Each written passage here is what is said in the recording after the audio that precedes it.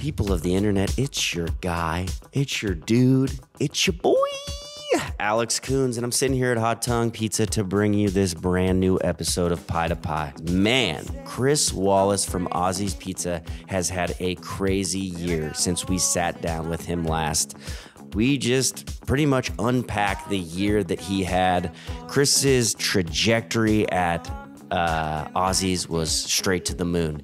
Dude was shooting for the stars and went to Mars. When we caught up with Chris the first time, he was cooking just a couple days a week out of an underground bar called Underdogs in Glendale, which he has now moved to a very big outdoor kitchen situation uh, at the Glen Arden Club. But Chris went from a busy night being 80 pies, which is a busy ass night, and selling out to pushing close to 400 pies a night. Dude is doing 2,000 dough balls. He literally had to times his staff by four. His business exploded. He had to buy another oven. And somebody who comes up quite a bit, Dave Portnoy, love him or hate him. Chris got an insane review from him. And what it did for his business was truly out of this world. There were other things that were already pushing Chris's business to the next level and we really talk about what it takes when those opportunities come and what comes after that. We talk about a golden ticket, and you can get a golden ticket, but you also have to be prepared for what comes after. To quote another very famous Chris Wallace, mo money, mo problems. And that is exactly the truth. You wish for success, but what you do with it when it knocks on your door is really going to show who you really are. Sometimes, as a small business owner, somebody that's been in the game for as long as I have, it's tough sometimes to see somebody who has been in the game for such a short time have so much commercial success right out the gate. But Chris is very deserving of all the success that he has had. You still have to make good product. You have to show up. You have to get wait times down. You have to create policy. You have to keep, create processes. And most people have years to figure that out. Chris had weeks. And we talk about all of that. Everyone struggles with different things. And outside of pizza, life is a struggle. And it's just how do you show up? How do you figure things out? Just sitting down and listening to Chris, he has been through a lot. And this crazy motherfucker is opening up a pizzeria thousands of miles away because he is not afraid to fail. He says it multiple times in the episode. There is a lot of beauty in that. I tell a story about Chris not giving a fuck about what other people think. That is a superpower. Do not worry about what other people think. And I know that this episode is really going to resonate with a lot of people. The story is incredible, and I hope you're inspired. I know that Dave Portnoy is a hot topic and that he comes with a lot of, uh, I don't know if the word is baggage, but I just want everyone to know that this is a pizza podcast and what this man does for businesses is something that you cannot deny. I'm not trying to have a debate about Dave Portnoy's personal choices. I think it's worth saying that when we talk about Dave Portnoy, it's through a pizza lens. It is what we were doing here. We were talking about business. If you want to have debates about Dave Portnoy, feel free to, uh, you know, drop it in the comments here. Just go wild. If you're looking to really elevate your life and, and and have a productive day, then stay out of the comment section. Go take a hike. Anyways, to wrap it up, it was wonderful having Chris back on the pod. It was a beautiful day in Glendale, and we were outside. It was a great ass conversation. Chris, I love you. Ozzy, I love you. I gotta say, you know, give me fuel, give me fire, give me that which I desire. Sleep with one eye open. Metallica forever. Before we start the pod, I want to shout out our sponsor, Zabs. Zabs is incredible. Both their hot sauce sit on every table at Hot Tongue. Their St. Augustine and original are mind bending. I'm talking naturally sweet heat and their signature slow burn. They got this secret pepper from Florida called the Datil It is hot, it is sweet, it is perfect on pizza, on eggs, on anything. And I know that anyone who tries it is gonna love it. If you don't know about Zabs, you gotta check them out. And you know who put me on their hot honey, which I think is better than all of them? Nick Camacho. Shout out the man, the myth, and the legend for putting me on this. I didn't even like hot honey before this, but Zabs changed my mind. I wouldn't put it on every table at Hot Tongue if I didn't believe in how much it could enhance pizza. Do yourself a favor and go check out Zabs. You will not be disappointed. Anyways, I'll stop talking now. Let's get to the pod. Let's go. I think this is a good opportunity that you've brought Ozzy along so that everyone knows that this is Ozzy and It- you are Chris Wallace. My name is Chris Wallace, and I am a human man that owns Ozzy's Apizza. This is Ozzy. He's a dog. He owns everything that I do, but there is a separate person. It makes me laugh though now because like people are like, "Hey Ozzy," I'm like, "Sure," like whatever. But uh, Yeah, do you even try to fight it anymore when people come and say hi to you all. or Well, for the longest time, it was like, what do you think the dog is on the logo? Because there's just a random his head on the logo. Yeah. And people would be like, oh, I just thought it was like a cute dog. I'm like, no, I get that, but I'm asking you, like, what do you think? Why he's in all the branding, or who is that? But I get it. I mean, everyone has their own different thing. I know Zabs does his thing, but Zabs his dog's in his logo. Yeah. And it's like, I don't mind it. It's just really funny because like when I'm at, I was at the Kings game a few uh, weeks back, and I sat down with uh, my buddy, and I'm like, "Oh, "This would be great. A night off from the shop, get to watch the game." I literally sit down, and right behind me, I hear, "Yo, Ozzy, Ozzy!" And I turn around, it's like ten of my customers were in the row behind me randomly, and they're like, "That's Ozzy. That's the pizza guy." I was like, "Yeah, That's me. whatever." Yeah. Christopher Ozzy Wallace. Just accept it. He's being good today too. He's happy to get out of the house. Well, he's ready. He is dressed. He's got a bow tie on today. yep, he picked it. That's my stupid dad joke every time. He looks good. He looks great. Um, a lot has changed since I talked to you uh, just a little over a year ago. Yeah, I talked to you, and we were at Underdogs, Mm-hmm. and by the Americana. If you don't know where that's at, it's a great mall that my wife loves to visit in Los Angeles. Let me actually guess. On Saturdays in the middle of the afternoon. Oh well, she would she would go any day, but yeah. Yeah. that is not the day to go. No. uh, beautiful mall, uh, but much has changed. You're now here at Glen Arden Club. yes. Yes. Um, but uh, you know, you had a trajectory when I met you. You, you have you've always had high energy. Uh, David himself said when he met you, you had cocaine energy. it's true. Uh, but you've done a lot. You want to just you just want to take me through it and uh, Yeah. I mean, uh, I have my monster in front of me, so I'm coked out right now. So let's go. yeah, man, I Um, can ask you questions as you go. Yeah, I mean, first of all, uh, I'm glad we're chatting because like, there's been a lot of change to Ozzy's in my life in just the last three months. But since we talked, that was over a year ago. Yeah. and just from there to now, like my life, like I I have the greatest life possible, and I'm so grateful for it. And like it all started because of your podcast with me, and like just being able to talk about our story, and you know, I got that was the first day I met you in person. Yeah. you remember that? Yeah, yeah, you right there. You put me in that elevator. The freight elevator. that I was like, we it might work. Yeah.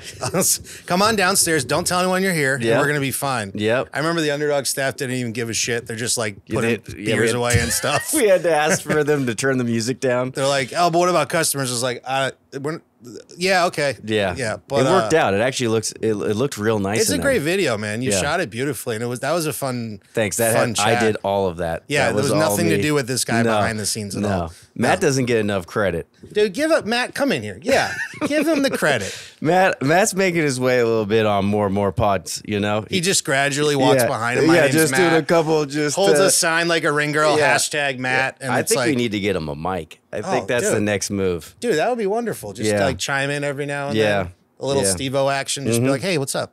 You yeah, know? he's got gems to drop. Sometimes better questions. We had a great chat when we were at dinner at the expo. We sat next to each other and we were we were joking around all night. He's a good dude. Yeah, I like Matt a lot.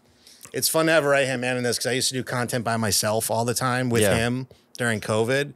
Dude, the grind to like edit yourself and think of ideas and not have a support system is like so fucking hard Yeah. and like soul draining sometimes. So like the fact you have him is like beautiful. It's a great thing. I literally do nothing. No, you All just I do, up. I seriously just open my mouth. Dude, Alex Koons' life is pretty simple. Wakes up around 3 p.m. every day. Uh, calls his shop. Hey, you guys there? Good. All right, I'll see you in a week. I'm going to Cancun. Someone want to watch my kid for me? Oh man, I haven't seen my kid in three weeks. He's been with the nanny. Yeah, he's know. like he's like 10 years old now. yeah, randomly. I think so. He, Yeah. They grow up so quick when you're not. I there. love your son. The first time I met him, he ran up to me and goes, "Hi," and just gives me a giant hug. I know that was awesome. Yeah, I love your boy and your boy. I mean, the best part is now that we're like good friends now, it's fun that, that we could just chat like on your podcast. But since then, like that's the thing, like our our community out here in LA has grown so much since you started Pie to Pie. Yes. And like just over the last year, year and a half trajectory, like we all have our things now. yeah, It's like, I mean, I remember last year at this time, uh, we were again we're at Underdogs. We're doing like two nights a week. I still have my full time job in sales, and that was it. And then everyone else, like Little Dynamite, hadn't opened up their shop yet. The Yep. former bootleg, and then I became friends with them. Uh, became friends with you, Lasores. I hadn't met Tommy yet at that point, who's become just a gem of a human in my life and your life too. yep. Like it's just crazy to think like that's why I love when people are like, why is LA like really as fun as it is? Like, do people like get along? Like, yeah. Like we're a bunch of misfits who just make pizza and like we just joke about it. Yeah, It's the best part. Like it's just camaraderie. It's wonderful. We all help each other out, which is, you know, that's the best part. When we went through all of our craziness the last few months, you know, one night I ran out of pepperoni and I like texting all the boys, like anybody. Like that's the craziness we'll get into. But like it just being able to have that lifeline with everyone, Mm-hmm. like I never would have thought that would happen. But it's basically because we're all just so genuine in who we are and like what we do. Like we all just get along and it's great. And if you suck, we just, you know, we test you. We send David Turkel at, after you. Shout out LOL Caesars and he'll just rip you apart limb from limb. digitally. Oh no, the trajectory has been nuts. Like, so we did that interview last year and it was awesome. Like, just being able to, at the time, I was so happy I get to make pizza two days a week in my small, like, upstart, like, side business at the time. And it was always a side hustle that I wanted to make my full time life. But, you know, like, restaurant ownership's hard, funding and figuring it out and all that and just growing. But at the time, it was just me and my business partner, Craig, and that was it and we were growing. And then we had that eater article, which was really cool that Farley wrote for us that like let people know about us, which was great. And then Matthew Kang wrote some stuff about us, which was wonderful. And we got in like all those lists. Like there's always a list that comes out every like three or four months with these LA based um, food magazines. Like we were getting them. I'm like, that's this is amazing. Yeah. Like the sheer factor being recognized for doing a style that we still get flack for because it's like it, New Haven. Now it's well, I'll get into it, but before it was like New Haven. What's that out here in LA? Now it's like, well, it's not really New Haven if it's not having the coal and all. And I'm just it, it- there's so many funny things we could talk about that have happened. Yeah, But like, yeah, we we were in underdogs, and what was happening was the building got sold. So like on a Monday, I get a text from my my business partner who's doing dough, and he's like, I can't get in the door. I don't know what's going on. then I get a call, hey, the bar's been sold, but before you go look for real estate, like we have an opportunity for you to to move like very quickly and have like a full time pizzeria set up at Glen Arden Club. And I was like, great. What is that? Like I didn't like they had talked about it with me, but we didn't discuss where it was or anything. So where we are now is only about a mile from our old spot at Underdogs. yeah, And to give you some perspective, like Underdogs was we shared a kitchen in a in a an underground sports bar. And then I come here and I remember I walked into the patio here and I saw the wood the woodstone oven from a distance. And I was like, okay, we have an oven. We can make pizza. So let's just figure this out. And then, you know, gratefully to the ownership team at Glen Arden Club and everyone that supported us, they we were able to get a, a fully licensed kitchen and uh, the oven was already ready to go and we got everything set up within two weeks but the part of the deal was hey we need you to be here five nights a week and i was like great but i have a full-time job and they're like yeah we need you five nights a week and i was like all right like because i'm insane i will just risk anything for this thing Yeah. so i was like all right five nights a week maybe i'll hire a person we'll figure it out so we did grand opening in july of last year and it was just me milton who's now a legend in the LA pizza scene. Our, our um, customer who never made a pizza in his life, who's now like our oven trainer and like the, one of the greatest humans I've ever met. I know you know him. Like he's just such a good person. Yeah. So we hire him. So it's three people, and then my uh, one of my co-investors, Becca, who's a friend, was our uh, front of house, just doing register. And I remember that night we were like so excited we sold out of 80 pizzas, and I was like, wow, that was insane! Like in like three hours we sold out. Now we know what we can do and everything. Then a week later we got a 20 quart Hobart, so we can up production. And we were just nighttime service Wednesday through Sunday, and we just started going. And then it was just gradually building. Like I was able to get payroll started, hire two more people full time. And it was just the five of us. Like we're just kind of making pizza and building up our thing. And many, many nights here where we, I just sat here waiting for the next order. And I, I'm I, I don't want to pay for marketing like ever. I don't want to pay an influencer ever for anything. So it was just like I'll do Instagram, I'll do um, as much of that as possible because I learned from you. Like I learned from like the people that were doing it before me. Just be yourself make funny reels, like post stuff that about Ozzy, post stuff about pizza, and like it'll get out there. So we had great word of mouth for the first four or five months, and then we'll get into the whole Portnoy effect thing. So November first, I was able to finally quit my day job. We talked about that on the roundtable. Yeah. And uh, I, I, I put in my notice, and my company I used to work for, Giant Kombucha, was always super supportive of this. But obviously, there was a breaking point where I'm working 100 hours a week doing both. Like, I was falling asleep in my car on the side of the road during the day. Like, I was getting burnt the fuck out. Yeah. And because at the time I'm the only pizza maker with the with the skill set to make them as fast as we needed it. Yeah. And I was training Milton and Craig to do it more, but it was just hard, you know, to let go. You know, like it, every pizza shop owner that's the chef knows it's so hard to like just let that part go a little bit. So then I put my notice in, and my company was so great. They're like, "We'll give you a month instead of a two week like grace period. We'll give you a month to get everything situated." I was like, "A month?" And like my boss, Chris Griffin, best guy in the world, was like, "Dude, take a month. You got this. Like, I believe in you. Like, you know, it's gonna be great." So November first, I quit officially, and then moved on. And then November like second, we opened for lunch because now I can do lunchtime. Yep. And those days were interesting because people would come by like, "We didn't know you were here," and I was like, "Well." Now you do. Like, We're here. We're here now. Hi, Ozzy's a pizza. He's a dog, not me. How you doing? It's kind. It's not burnt. It's just charred. What do you want? But uh, that week, I was able to finally afford signs, so we got great signage now on the side of the building Yep. and in the front. We did a big campaign of uh, you know opening for lunch, and it was going great. Yeah. Like, and I and I did the finances in my head, like, okay, if we could do this amount every week and grow gradually, I could be you know comfortable paying bills and you know all that stuff with the staff I had, and come Christmas time, we were going to close for the whole week just to give everyone a break. But I don't know why. I was just like, we can't close for that long. Like, let's just close for Christmas. And I'll, I ended my trip early and I flew back from Connecticut. I was like, I'll just, I'll run the shop with uh, the staff we had and like, it'll be fine. Even if it's slow, it's New Year's Eve. We'll probably get some sales for parties and stuff and it'll be good. And then I'm, I'm at the airport and I see that Dave Portnoy posted he's going to Pasadena for the Rose Bowl. I was like, oh man, he's in town. Yes, uh, he loves New Haven style. He's, and contrary to what people have said or thought, like he messaged us once over two years ago and was like, I'll come one day. Like from just people sending him stuff. Yeah. DMs. And I was like, great. That kept me going. I was like, that guy knows we exist. He probably forgot. And like, that's it. But that's, you know, it's good to know that like the people were talking about us, right? I get back and I tell the staff, like, hey, you know, this guy might be in town, just do everything normal. Nothing changes. If a guy comes in with a camera, have fun with it. Like it's just it's publicity. That's all it is. Yeah. And then on a Saturday at like 6:30, under the name Austin, and I knew Austin was the cameraman. So I was like, maybe that's him. So we, we make the cheese pizza, and literally it came out of the oven, and then he walked around the corner in his yellow ass Michigan jacket with the camera on. I was and I literally screamed, "Holy fucking shit!" like as loud as humanly possible. And then like all these customers were here, and they were like, "What the fuck? What the? f- This is happening." And I was like, "Great!" So then he started. We chatted. You saw the video. Like we chatted. He tried to say it's like, "Oh, you need coal for True New Haven." I'm like, "That's not true."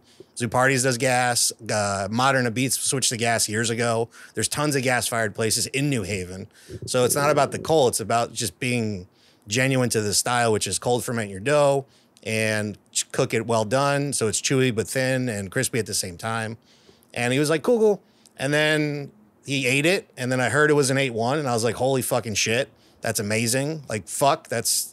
I was literally standing there and like someone was like, I, I hate it when uh, the chefs are hiding in the background. I'm like, I'm on a patio Like I literally would have had to hide in a bush over there, Yeah. per- looking like a psychopath if I wasn't gonna be around. But I, I think like shop owners and then just fans of those reviews, like you, if you don't understand that he is like the biggest pizza influencer or gatekeeper in the industry right now, then you, you shouldn't really be in pizza without knowing that. Because like when someone like that comes around, yeah, pay attention and do your job. And I heard they ate one, and I was thrilled for for that. And we gave the tour, and it was great. And I love that they kept my story in there because we just chatted for like ten minutes, and then he left, and then that was it. And then that night, he I posted on like an Instagram story, like, "Hey, thanks for coming, Dave. That was great." He reshared that and goes, "L.A. This is the best pizza in L.A." And I was like, "Holy shit!" Like stamp of approval from that guy, and then it was off to the races. Like just from the Instagram story, we increased sales the next day by like 100%. And then it started to gradually grow. So, like, our Wednesdays were becoming Saturdays. And it was like Wednesday, Thursday, Friday were like just increasing like crazy. But then it was like we were handling it. And at the time, we had the one oven, I had five people, and like that was it. So we get through that. And then we're like, when's this video going to air? Like, I have, I have enough anxiety as it is to like pay bills and all that stuff. But like, when's this fucking video going to air so we can prepare? Yeah. So I was watching some of his reviews as they were coming out, and he did like a Boston bar pie tour. Yeah. Right before he came to California. And in one video, he goes, Yeah, this is like number three of 20. We're just banging all these out. I'm like, All right, three of 20. That's 17 more videos to go. They air out only Monday through Friday. We got a few weeks to prepare. So I just went into scaling mode right away. And I was like, What can we do to prepare for the onslaught of like just the from the video dropping? So I started to reinvest everything into production. We got more equipment. I, I've bought like 100 dough trays in the last three months. And you know how much those are. They're like 25 a tray. Yeah. Like every little bit of like earnings we had, I was putting it back into building the business to get it ready. And then the funny part was we ordered this with Woodstone, which by the way, Woodstone, you suck. Uh, we ordered this burner for underneath the oven, Yeah. which was supposed to uh, help alleviate the heat dissipation from the stone. Yeah. So we'd have heat on the back, heat underneath, so we could pump out more and like be able to keep the oven from dying out as quickly as it was. Yeah. The part landed on a Wednesday and the tech couldn't come till the Monday after. So I was like, okay, this weekend, if the video drops, it's going to be nuts and we'll get through it. Of course, the video drops the next day, blows our mind. It's 8 1, like it's beautiful thing. Friends and family back east are reaching out to us. Like it's just the most beautiful moment I've had in pizza because it was just validation for just like I'm a stubborn motherfucker and I'm just gonna do whatever I want that makes me happy. And like when people are like, "You're gonna make Wood New Haven and in California, you don't have coal, you don't have this," I'm like, "Who cares?" Like I'm just gonna have fun and just do whatever I want. and Make New Haven style pizza that I grew up with. Like that's it. So then the video drops. We got a good pop that night. And then the next day, 10 people outside to open for lunch. Friday was going really good. And I still had like notifications on my phone uh, for his videos because I was waiting for when it was going to drop. And then the next day, they dropped the Casa Bianca review. Yeah. And it dinged when I was out here and my phone was connected to our speakers. I was like, "Oh, guys, they did Casa Bianca. Let's see how let's see how it went."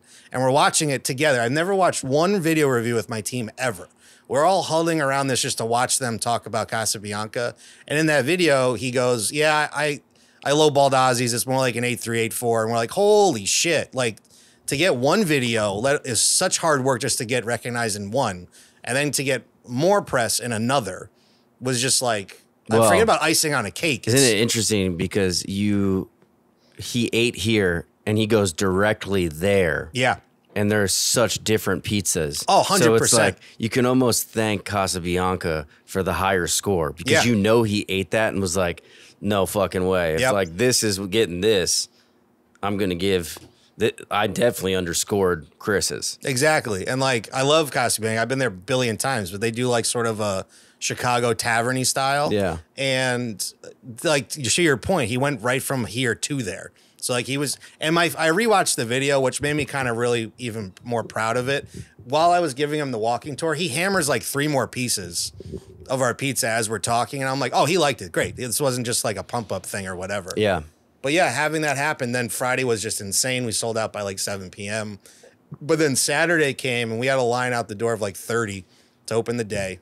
And we had scaled up to we could do about 200 doughs for the whole day, and those were gone by five o'clock. But the waits were terrible. Like we could only do so much because we couldn't get that oven piece put in. So we're banging them out, and like we had waits upwards of three hours that day. And to my staff's credit and to our customers, they just hung out. Like the ones that have known us forever or wanted to really try it, they made this whole place a party. Like I have like 30 tables here, which I, I think I told you when I got this place. I'm like, I'm never gonna fill these tables. Yeah. Now I don't have enough tables. It's insane. Like the amount of people that come here for the party atmosphere and like the fun vibe of waiting during that moment was just like it. It blew my expectations through the wall of Yeah. like what was going on. So then we got through the, that the two weekends. And then Sunday we sadly sold out at like four, and we were open till seven, and we had to turn away people. And I was like, we can't let this happen like ever again, like ever again. So immediately Monday, I was like, okay, the oven parts being installed tomorrow. I will focus today on hiring and scaling and figuring out our production. So that day, I made two offers to two pizza guys who are now on our crew who are amazing. Full time offers to a friend of mine, Justin, who actually worked with me at my house when we were doing the pop up back in the day. And he's a chef. He's been in the industry for a long time. He's a good friend in comedy too. And I was like, hey, what are you making over wherever you are? He goes, this. I'm like, okay, I'll pay you a dollar more and you can come tomorrow and get full time and not worry about hours ever again. He goes, done. So he came in right away. Another guy came in from a pizzeria that was closing. This guy Zach, who's incredible. He's his skill set is like I, I learned from him. I learned from all these guys now because I learned quickly I can't make every pizza on my own anymore. Yeah. like I'll literally die. Yeah. So I hire those two. I have Milton. I have offers out for a couple more front of house. And then Tuesday rolls around. I'm like, all right, all we have to do is get the oven part in. And we're going to scale up production. It's going to be great. And I'm on a phone call with Karen Palmer because she did that article for us for the her magazine. Yeah. And I get a call from the GM of Glen Arden, and she never calls me unless it's bad. And I, as soon as she called me, I go, the oven thing doesn't work. I already know it. Like I already know it. So I hang up. I call her back. Yeah, that oven part doesn't work. We have a problem. I'm like, great. So I, f- I fly down here. And I was supposed to do dough that day, and I still got it done. I fly down here. I talk to the tech. He's like, Woodstone screwed up. We went through three weeks of waiting for that part and you know vetting it to make sure it was the right one. And he's like, this isn't the right. Like we can't install this. I'm like, so we have the one oven again. And I'm, I already know how three hour waits ain't gonna fly. Like we'll get shit on real quickly for that. So I was like, all right, I know how much money we have in the bank. I know our landlord believes in us. I had a number in my phone because the oven we used at Underdogs was an Earthstone oven. And I had this number in my phone, John Paul Earthstone. I'm like, I'm just gonna call this guy and see if he's around or who. I don't know who this person is. I call him. It's John Paul, the owner of Earthstone. It's the son of the creator of Earthstone ovens. I'm like, hey, do you guys like have a rental option or anything available? He goes, we don't have that, but you can come down to the warehouse and take a look. I'm like, okay, where are you located? He goes, oh, we're in Glendale. I'm like, what? Where in Glendale? He goes, he gives me an address. This fucking thing is five minutes away. Yeah. Down the street where they produce all of their brick ovens. And I'm like, That's that Chris Wallace look. You know what I'm saying? dude, God, God is great. I don't know what else to say. good, God is good, man. oh, Jesus Christ. I was like, okay, there's an oven store down the street. All right. So I, I, I get numbers of what we can afford and all. I fly down there. And by this time, I already have one batch of dough made and sitting on the table. And I run while it proofs to go check out the ovens. Yeah. I find one. I'm like, this is great. How much? He goes, this much. I go, okay. Um, I need it tomorrow. And he just starts laughing. He's like, "Yeah, no, we got to call the crane guy." He goes, "I'm like, no, I I need it tomorrow." And I don't know how I got into Boston. I was like, "Whatever you need to do, we'll make it work for you. We'll clear the path. We'll make it work. We just need that oven tomorrow Yeah. before opening at 12. And I come back here and we're back on the phone back and forth. He comes and visits the site.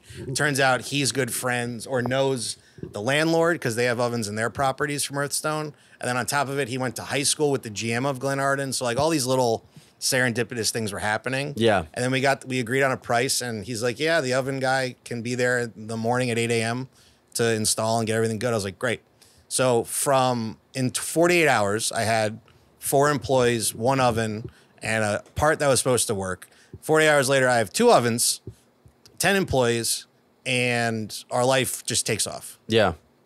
We come in, we get the oven in, and then from that day on, we started to scale and we restructured the kitchen, we restructured everything. But that week was the busiest week of all time, like ever, because that's where like the video started to really gain traction and everyone saw it. So by Saturday, we got wait times down to 90 minutes for two ovens, which I was so grateful about. I got Griffin Baker, pizza maker, working with me now, who is Yeah. he's such a smart, like energetic kid, and he just wants to learn. Yeah. and like he's on the new oven, and I remember I took a photo of him and Milton cooking pizzas on both ovens at the same time, and like I cried like a little when I got home, just like where it came from, what I've been through, and like what the company's been through to like see that Yeah. was just like mind blowing. And then by Saturday, like to to give you perspective, like we've we were doing 400 to 500 pizzas on Saturdays and Fridays, and like that's 400 percent increase, you know, from before our video. So like it does it does happen. Like you get blown up, and if you make a good product, it, people are gonna come. Yeah. And then yeah, it's just been literally like that ever since. And then what was great was we were able to scale up, hired a front of house manager who was actually my neighbor, who uh, we used to do pizza parties during COVID. Yeah. And she was the one with her husband Austin was like, "Hey, you should like sell these." I'm like, "I don't know what that means. I don't. I I have an apartment. I don't get it." But she was like, gave me the seed, Jamie, like to like do it. And then now she's my front of house manager, and she's incredible, and like just puts everything together. And now, as of yesterday, we have 15 employees. I have two, three pizza makers in back now. Cause that weekend with the 500, I've told you this off camera, but I blew my back out. Yeah. I was making every single one myself, and I blew my back out because I was leaning up so much back and forth, back and forth. I couldn't stand up on like Sunday morning. I couldn't get out of bed. Yeah. So I, I like got my shit together, took a bunch of Advil, bought a back brace from like CVS for like thirty five bucks, and wore that thing for three weeks straight just to get through the first onslaught of everything. And that's when, and I remember, I'm grateful that I have Chris Bianco's phone number. And like when this happened, I texted him like, "What should I get prepared for?" And it's like, just enjoy the ride, brother. Don't burn out. You know, and learn to like train and learn to not do everything. Mm-hmm. So immediately I was like, okay. So I got the pizza guys. I started easing up on making everything. And that was really where like Ozzy's started to grow and like become like we're a full blown quick service pizza place now. And like every weekend we're filled. And to not worry about sales and in the restaurant industry is insane Yeah.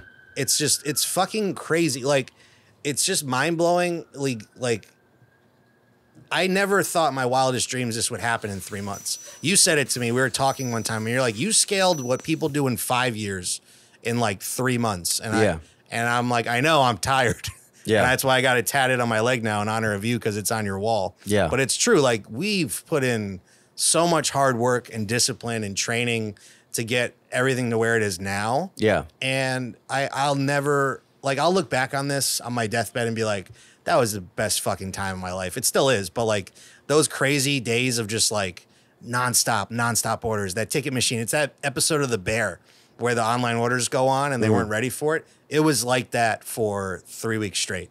And we had fun with it and you know there was times where people we got frustrated with each other we got through we're family like every one of the people on my staff is family to me Yeah. and like sometimes you fight with your family and I, i've had to really elevate my thought process on being an owner and being a businessman and but most importantly being a teacher and helping people like learn what to do in these situations because i learned very quickly i can't be here every day like doing everything Yeah. and I'm so grateful now I can come in and things are ready, or I can jump on the line and help, or it, it's just like, I mean, you've been through it, and it's so, I never like envisioned a day where I wouldn't have to show up to the shop and have a day off.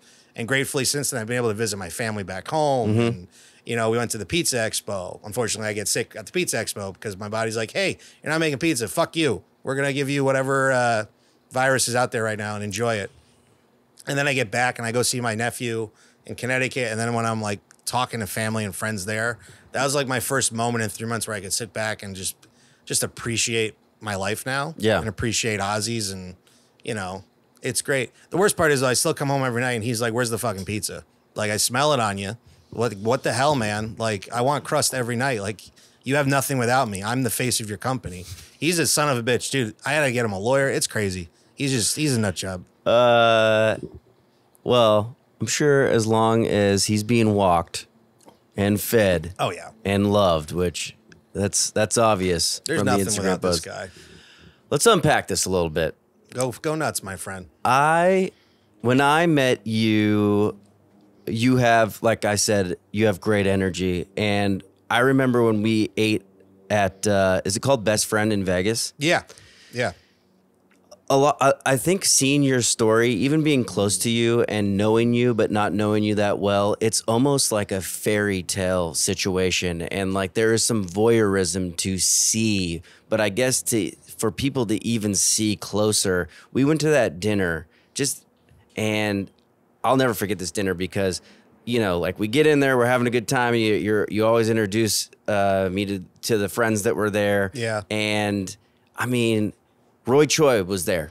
And you were like, I'm gonna go talk to Roy Choi. And I'm just like, God damn, dude, Chris just doesn't give a fuck. This is something that I would never do. Like I just I kind of like, you know, I would eat my meal and be like, oh man, that's so crazy. And I remember you just being like, you said to me, I don't give a fuck what anyone thinks about me. Like I'm gonna do whatever I want. And that that really struck a chord with me because I was like, this guy and he came over. He came over. He said hi to the table. Yeah, he he took really nice. pictures with us. He was super nice.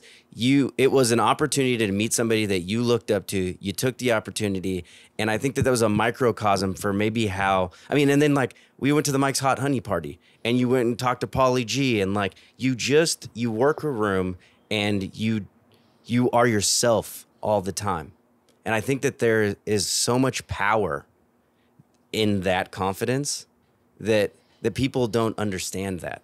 And it was incredible to see. It's been an inspiration to watch you grow the way that you have and have the confidence that you have had to do it.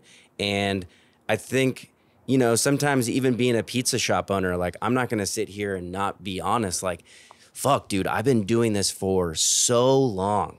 And it's crazy to to watch somebody like you just go from from fucking zero to a thousand. But to know that you deserve it and that everyone's path is different is has been humbling and it has been it has been wild to watch. And it's it's because not everyone is greased like you are. You know what i mean? Like i just want everyone to know that that story that you told, how much hard work there is, how much stuff there is, things that people don't even know about, and just what you have, what you've gone through, what I've seen, and you know, dude, you have spent, you've you've sent so many people into Hot Tongue. It's been crazy. More people than Lewis from the pet store, but people have been like you're such a like that's the kind of dude that you are, man. It's it's I don't know where I was going with this other than like I do think that like when people hear this story, it sounds like maybe it's a it's a lot of coincidences or luck. I do think you make your own luck and being next to you and and watching you go from like underdogs 2 days to a Dave Portnoy review, like there was things before that. You know, you you put yourself out there. So many I think pizzeria owners don't do that don't have the confidence to say, hey, Matthew Kang, over here. Or like, hey, Farley Elliott, like, check me out. Or, you know what I mean? Like, Yeah. not that you had to be like, hey, me, me, me, me, but that's kind of what you, sometimes what you have to do. That's hard work. Oh, right. Oh, it's it's draining. And like, first of all, thanks, man. I mean, you know, I love you, but that's when it like whenever people come here and they're like, "Where do you eat?" I go, I go to Hot Tongue, I go to Lasorted's, I go to Secret. I, I mean, I run out of names now because I'm friends with all of them because of the community vibe. For me, it was like I never had a real sense of belonging in my life anywhere.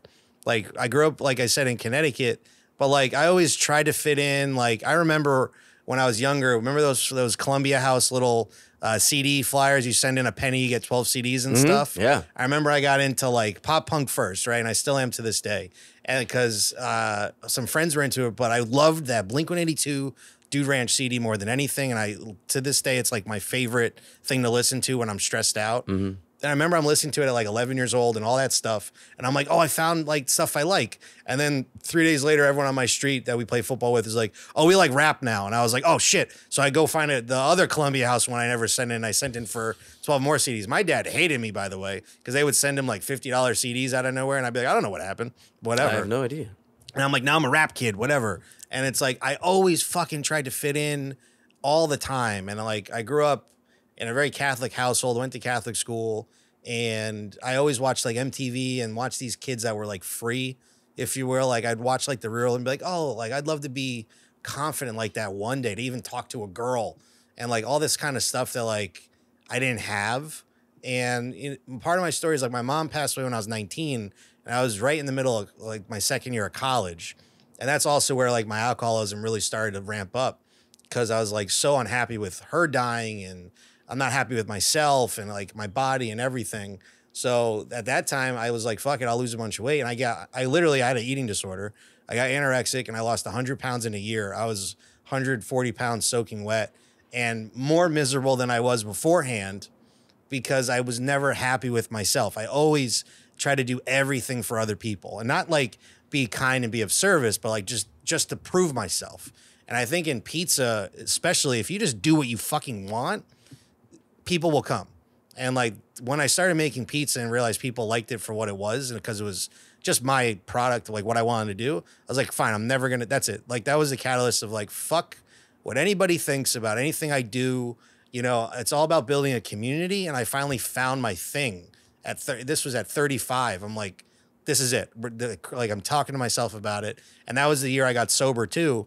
And that's a big part of my story as well. And I'm not afraid to hide it. I was a major alcoholic. Still, I identify as an alcoholic because I would drown my sorrows in drinking and booze and drugs and all that shit. And I'd wake up miserable every day, blame the world and all that stuff. And I, there was no voice. There was no like coming to Jesus moment that people get. I was just like, I'm fed up with feeling shitty. So I got sober and I, I relapsed once, but I'm grateful to say I'm almost two years sober now. And I just got clear headed to see like what I want to do. And it's like, it's pizza. It's it's been in me the whole time. I literally flew. I moved to California because a girl broke up with me that I thought I was gonna marry. And then I was in a shitty fucking construction job. And I was miserable, drinking, just living in an attic. Like I was I hated everything. And my buddy in Newport Beach was like, Do you want to like move in with me in six months? And I was like, Yep, I'll figure it out. And that was maybe where it started, like that you were saying my drive. I've always been the guy that like I'll just figure it out. I'd rather just figure it out on my own and like I'll, I'll ask for help. But I literally moved here with no return flight and a suitcase and moved to Newport Beach and got a job within like 29 days. I had 30 days worth of money. And on day 29, I got hired at like a full time job. And I was like, all right, I'm staying. And I called my boss. I'm like, I'm not coming back. Because he laughed. I remember he was like, oh, you're to move to California? All right, good luck. And I called him on day 29. I'm like, I'm not coming back. And I was like, he's a friend, but I was like, fuck you, man. Yeah. You don't believe me? Seriously, fuck off. Yeah. And I lived there for a while, but my addiction kept growing and growing and growing. And my I've always been into comedy, so I was like, I'll move to LA and do comedy. And then the thing is, like, the, Instagram's rough, right? We we put up on our personal pages the best pictures and the facade of like we're happy. All those years in comedy, I was so fucking miserable, just trying to make people laugh, and I wasn't bad at it. It was just like I just wanted to get on stage, make people laugh, and then drink as soon as possible, and then go home and just like not think about who I was. And I dated the, the wrong type of women and I was just unhappy in my situation. I was living in a three bedroom apartment. This is a funny situation. I was living in a three bedroom apartment. They built their old like closet room into like a bedroom and put it on Craigslist. I got it and then I get in and there's a full bedroom next to me. Like just a massive room and I'm like, "Can I rent that room?" They go, "No, that's for my son Daniel." And I was like, well, "When's he here?" He's like, "Oh, like every couple weeks or so." I'm like, "Can he have the room I'm about to rent that's the size of like me?" and Ozzy put together. They're like, no, no, it's this one. So for two and a half years, I live in a closet. And by the way, my roommates were great people. They actually helped me get sober at the end of it all. But like, I've I've been through the fucking ringer. Yeah. With all that stuff. So like now, what's great is like with Ozzy's and everything. It's just it's hundred percent who I am. It'll always will be. And like, I really don't give a flying fuck like what you think about what I do because I do it from a genuine place and it's all authentic and it's just like 100% who I am. Yeah. And I'll make mistakes. I've made mistakes. We're always going to make mistakes, but I I now I'm grateful that I can learn from them all and learn from people every day. From that time we sat down till now, I've learned so much about the pizza industry. Yeah. Have friends like you and Tommy and people all over the country and I always like wanted that to happen to like the industry I would go into and like have that community like I call my my customers fans Ozheads because it's fun. Like it's just a fun thing to do to make them feel like they're part of a community because I'm that person. Yeah. For years I felt so empty and hollow and I never felt like I belonged anywhere. Like I was borderline suicidal once. Like I was I had I like if I choke up, sorry. It's just like it was. I was so close to ending it all before anything took over Yeah. for pizza, and I'm so glad I didn't. And then another big part of why this all exists is because of this little dude right here. Because you know I adopted him when he was two. This is funny. His name was Bono at the shelter. That's a sick ass dog name. Yeah, I was like, no, no, no, we're not naming you Bono. Good, I like you too, but no. I'm like, I'm not gonna be calling you Bono the rest of your goddamn life. And then, uh, Sorry, Vito. yeah, whatever. It's a beautiful day. it is. Well done. Dad joke, nice. But I got him, and then like I always wanted a dog, and like ever since that, it's just like as long as I could do it for him, and just come home and relax and chill with my dog, and like then I like my friend helped me name it Ozzy's because one day we were cooking, and there was just crumbs on the floor, and Ozzy's eating shit off the floor, and he's like, "You should call it Ozzy's." I'm like, "Done." Like no, there's tons of Chris's pizzas out there. Like Ozzy is me. Like we're like, look at this dude. I love this guy. He's the been best. he's being such a sweet boy on your lap. He's amazing. I love him to death. You want to say something? Yeah, you little Big yawn. Yeah. But it's like I, I had none of this without getting sober and getting healthy and then getting a good group of people around me. And that's why like it's like when you say like you just don't give a fuck, I really don't. Like I used to care so much about what anyone thinks about me that it was such a waste of energy. Like it's just such a waste of energy. And now like well I do I joke around whenever there's a one star review that's just ridiculous. Like something about like we had a guy the first week of the the Portnoy stuff. He came in at like 7:30 and we're like, "Hey man, sorry, we're sold out." And he goes, "Sold out? This is bullshit." And like walked down. By the way, we know that guy. He used to come here. We always thought he was a serial killer. We kind of still think he's a serial killer because he's just one of those dudes that you just don't want to be There's left dead alone there's with. dead bodies in his basement. Absolutely, Yeah. at least three or four. And he goes right home and he goes, "Oh, uh, one star review. Uh, try to get pizza to seven thirty, sold out. This is bullshit. Get your shit together." And I ripped him a new one.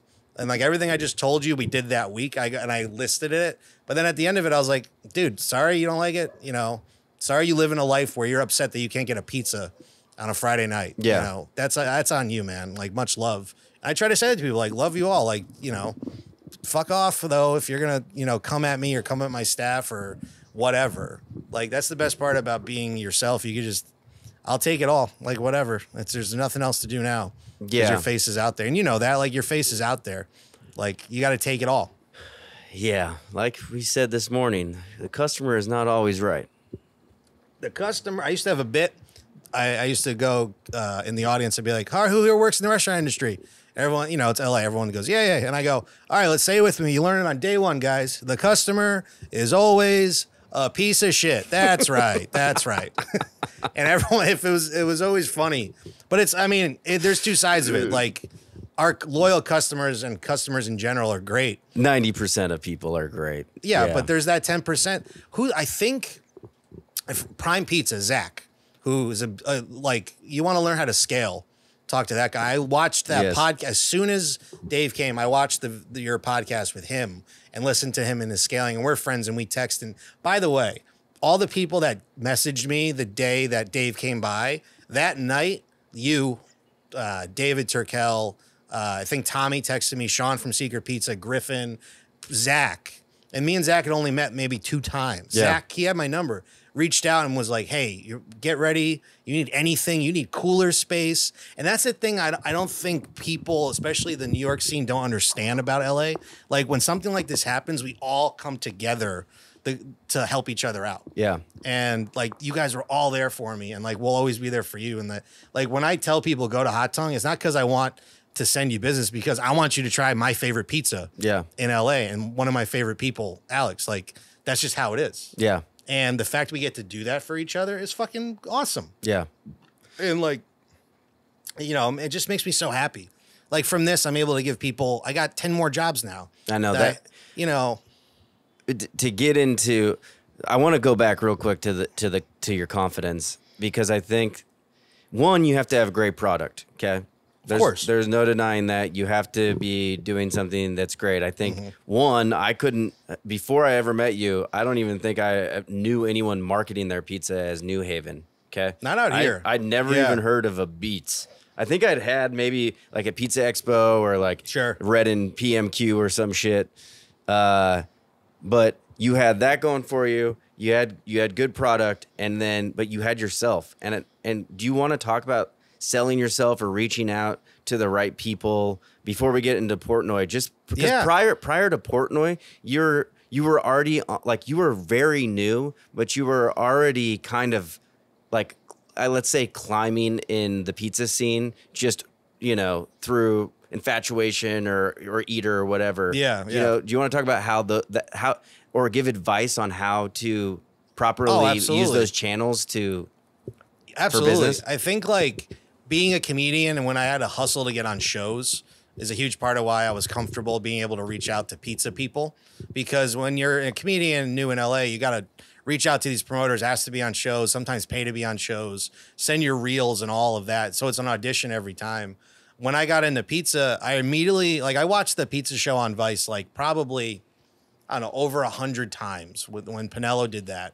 Just to like, I got so absorbed in the culture. And then David Chang did an episode on his, uh, what was that? Uh, Ugly Delicious about pizza in New Haven and the culture. And I was like, why does no one do New Haven? I looked it up and it was the coal thing. I'm like, you could do New Haven style. It's more than just an oven. But for me, reaching out to people, it was, I think, some big advice that I've always lived with, especially in the last five years, is begging gets you nowhere.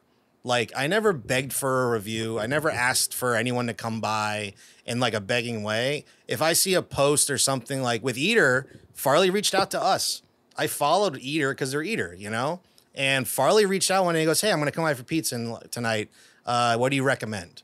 And that's when I started to realize a lot of these people in our industry are just genuine and want to support and just, you know, your job as the chef or the owner is to give good product and their job is to review it or to talk about it or whatever. So Farley, the first one, he reached out to us on like a Saturday and he came by, ate the pizza and then and then a week later had that article which was great. And then all the write ups were just, we never knew. The Bill Addison one. So that one happened uh, right when we opened here. So Bill Addison did that whole write up of the LA Times, uh, their like 21 favorites and like saying like LA has a scene now. That's a great article. yeah And I was away at home doing a pizza festival in New Haven, which still fucking blows my mind. I got invited to do New Haven style pizza in my hometown while owning a shop in LA. And I my tent was next to Frank Pepe's tent. Frank Pepe, the, the originator of New Haven style or whatever you want to call it. And I remember I'm there or I'm on the plane with Big Mike, Mikey Rabbit, and we're on the plane and I turn my phone on and I have like a hundred notifications. I'm like, okay, something happened. And it's it was that article came out. And we had small staff that week. I was like, guys, just do the best you can, get through it. It was great. They got their first like experience with a rush, like a real rush of business. And then while we were at the that pizza festival, um, Frank Pepe's uh, I think nephew comes over to me and goes, "Hi, is this your shop?" And I was like, "Yeah, that's my shop." Oh well, my daughter's there right now eating your pizza while you're here cooking next to us. And it's like those aren't like that's the hustle of life right there. Like you work your ass off. Those little like moments where like God or whatever you believe in pats you on the back a little bit will happen. You just got to be clear headed to recognize them.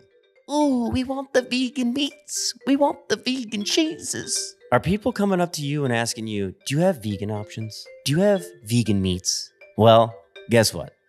A lot of them are not that good, but there is one that reigns superior, and that is Be-Hive. Everything that they make at Be-Hive is levels ahead of what you can get in a grocery store. Their pepperoni, their crumbled sausage, their cheeses, there is no contest. And the owner is one of the coolest people I have ever met. They make incredible products that go on your pizza, and it is dope plant food. That's what they call it, and that's what it is. Be-Hive, the best. Look no further. It's Be-Hive, baby. Straight out of Nashville. Good people, great product. Check them out. Do you, do you, how do I say this without sounding too crazy? Do First you, of all, you are crazy. do you look at that beautiful hummingbird? Do you? This is a Case in point. this might want to be one of the most beautiful, beautiful settings we've had next to the uh, Pizza Pilgrims uh, penthouse studio. Anyways, uh, do, do, do you do you have a vision board or like do you?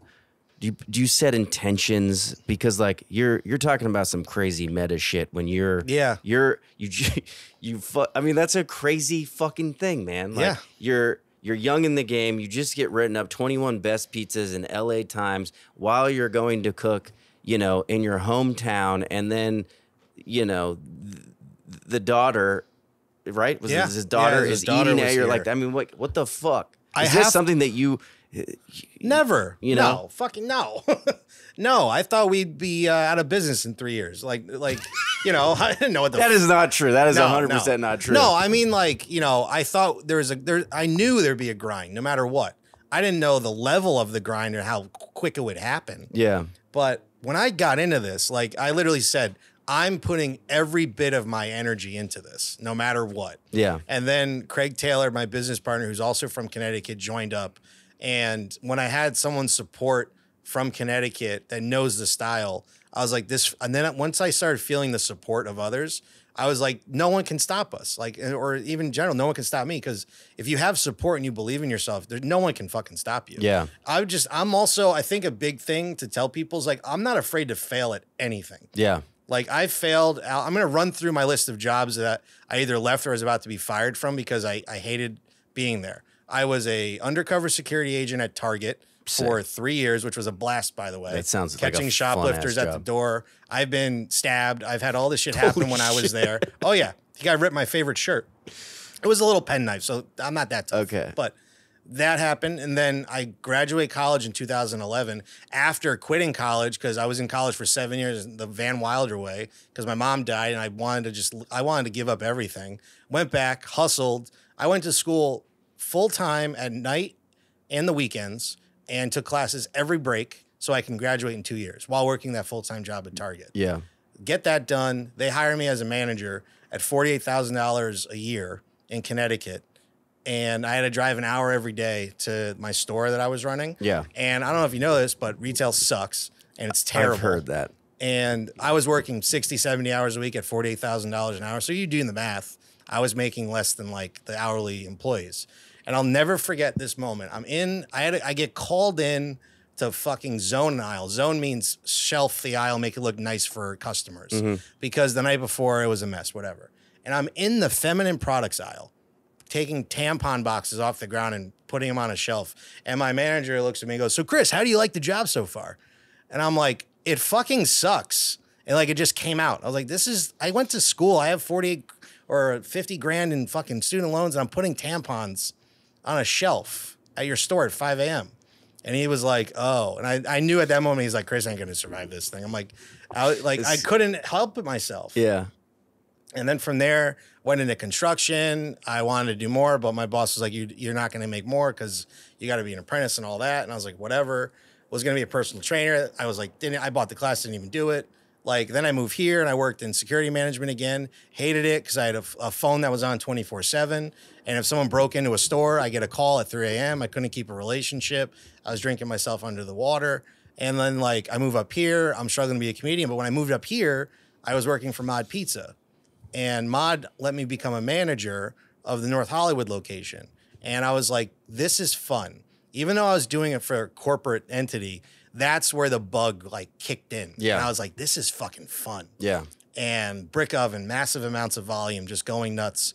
And that's where I was like, this is fun. Maybe one day if I I could do this, but at the time I just was focused on comedy.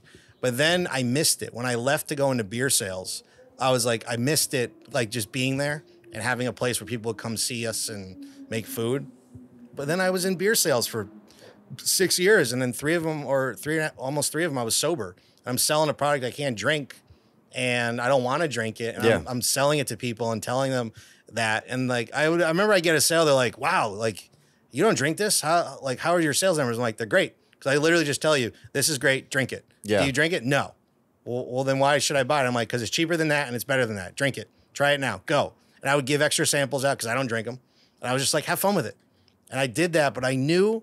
I so this is the last part of it was like I, I was at this job giant, and I knew if I could just grind my fucking ass off when I wasn't on the clock at Giant with underdogs and Ozzy's at the time, it would just start to go. And anytime I was doing pizza stuff is when I could be myself, like even more. So like last year when we went to the expo for my first time, I just took that as like I'm going to meet my heroes in pizza. And I'm gonna not I'm not gonna like all bets are off. I'm gonna say hi. I'm gonna do whatever I have to do just to say hello, just to put myself out there. Yeah. Not expecting anything from it. But while I was there, even funnier story. Uh, Steve Dolinsky, the guy who runs um, the Pizza City Fest. Yeah. We're doing it again this year. You're doing it on Saturday. Yep. And he's a big, you know, foodie guy from Chicago. And I reached out. I was like, hey, I saw this festival's happening. We're one of the newer pizzerias. Is there any openings this year? He goes, no, but, you know, we'll come by next year, check, check, check your pizza out, and, you know, maybe we'll add you. Like, great, thank you, no problem. I sent that message from my hotel room at in Vegas. And then I walk downstairs to my distributor's uh, booth and I say hi to my distributor, Serenza Foods, love him to death. And Steve Dolinsky's standing there filming something randomly. Yeah. And like these moments, like you call it luck, whatever. No, it's, I really feel if you put the power of the universe and let the universe do its thing, because the other thing I've, I've grown to learn is like I have no control over anything. Mm-hmm. This whole fucking orb thing we're, we're on, all that, we got no control over this fucking thing. There was an eclipse today. This is bigger than all of us. Yeah. Okay. So if you could right size yourself and just be like, all right, I make pizza, I have fun with it, and let's just let's just there's no harm in talking to someone. Yes. I walk up to Steve. We say hi. We're cordial. He's like, "Oh, I'll come by when I, I'm in LA for the festival. That'd be great." Three days later, Best Bet Pizza drops out. He calls me right away and goes, "Do you want to take their spot?" Boom. If I didn't reach out, just saying hi, Yep. that would never have happened. And now we have a great relationship. We went to lunch yesterday, Yeah. and we're one of the people featured on the Sunday this year. And like these are the things like I just have no there's no there's no risk in doing any of this stuff, talking to people and doing all that and being genuine and like I don't want to hammer on the sobriety shit too much, but that's just if I didn't get sober, I wouldn't be able to do any of the stuff I do. Of course. And like, so all the energy I used to put into finding booze and coke and getting stupid and all that, I put into the business. I put into just putting out genuine shit on our Instagram or whatever and just being myself. Yeah. And like that expo, you were there. You were just talking about the Mike's Hot Honey Party. I remember looking around. I'm like, holy shit, Paulie Gee just said hi. Holy shit, uh, Pizza John said hi. Met Mark for the first time from uh, Square Pie Guys. And now we're all friends. Yeah. Like, Yeah, you have no. I mean, uh, you. It's probably easy for you to maybe um, to minimize it, but it, it is a it is a huge it is a huge talent and power to just go up to somebody and say hello and be yourself because because putting yourself out there and and doing those kind of things are is tough. it's really hard. But And- but you w- without without saying hello, you never have a conversation, right? if if you don't try, it's never gonna happen. Yeah. Like in anything we do, if you don't try, you can never like. There's so many. Like you want to like go smaller. Like when I was like in college and I lose all the weight and then everyone's like, "Oh, dude, you're so fucking looking great. You're gonna have a great life." I'm like, that means fucking nothing. And by the way, you think just because you look great, you're gonna have a great life? No, like no, Jesus Christ, is man, the- it's so case. superficial. And like I remember there, I had opportunities to date some very beautiful women back in the day, and I never took the chance because I was so afraid of rejection. And that's, I think for me, and I, this is another thing, I used to be so afraid of rejection in every facet of my life. I think a lot of people are. And it's a huge problem because it, rejection leads to anxiety, leads to, you know, uh, alcohol, whatever, whatever you want to do. But rejection keeps us from doing shit. Like it literally keeps us from trying shit because we're afraid we're going to fail. So it's like, who the fuck's calling me? I'm not answering. Um, and Rejection. uh, speaking of rejection, reject. Well, that guy's he hates himself. Uh, oh God! All right, who was that? Oh, fuck him. Um, what was I saying? Oh yeah, so rejection. Uh, no, but like, dude, you be, we've all been through this, right? We're all Yeah. afraid to talk to the girl at the dance, or or fucking you know go for the job you want, or move to California to pursue a dream in entertainment or something.